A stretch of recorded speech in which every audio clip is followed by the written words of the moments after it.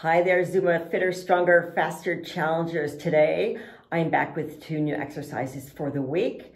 And as you can see, we are taking it down to the mat today because we're going to be doing mountain climbers and renegade rows. So let's get started. You probably want a hand weight or kettlebell for the um, renegade rows. So let's get started. So we're going to alternate our mountain climbers, which here we go like this. Done from a plank position.